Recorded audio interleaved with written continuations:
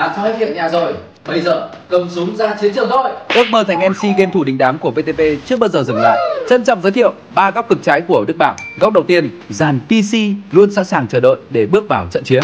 Đấy trông kìa, ánh mắt thì rực lửa, cái tay thoăn thoắt, đam mê quá chừng. Khuyên anh em nếu vợ có gọi hãy trả lời. Nếu không bà xã sẽ xâm nhập vào căn cứ địa và trận chiến đi vào kết thúc. Nhìn mặt bà ấy khoái chí chưa kìa, sở thích rõ lành mạnh mà sao vợ không ủng hộ nhỉ? Thì em giải thích hộ nhà Bùi cái nào? Thỉnh thoảng chồng còn chiếm chiếc sofa thân yêu để chơi game với chiếc máy lọc không khí của anh ta. Game thủ này được cái trang bị vô cùng đầy đủ, góc chơi game này thì quá êm ái rồi. Vợ mà còn nói nhiều quá, rủ vào chơi game đôi luôn cho nhà cửa yên bình. Tôm cũng muốn chơi á?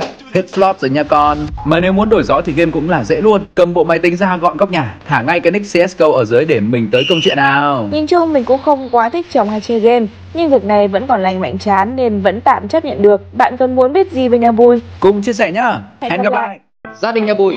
và những fan fact chưa kể ôn nhau bất ngờ đến cho các khán giả của gia đình nhà Bùi tức là chúng tôi không hề có mang cầu hôn nào hết. Đấy là một sự đồng thuận các bạn nhé. Không. Đó là những biểu hiện của sự lươn lẹo.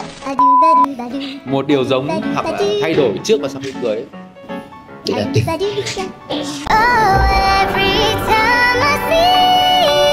còn sự thay đổi đó là nhận thức của mỗi người về đối phương chúng tôi bắt đầu chán đối phương hơn Sao lúc nào hôm nói vậy đây ai hay cầu nhau nhất ai hay cầu không nhất biết chắc nhà nó không kéo bao giờ tôi không có định nghĩa từ đấy còn vợ tôi thì là hay hát thôi chứ không phải là cầu nhau đây thông minh không cần đa ca ai chủ động bắt chuyện trước bằng hình thức nào em em bắt chuyện trước với anh wow anh trên mạng thế à? Mình cứ tưởng mình chủ động là Chứ tôi nói không đúng sao? Bị động trong mối quan hệ.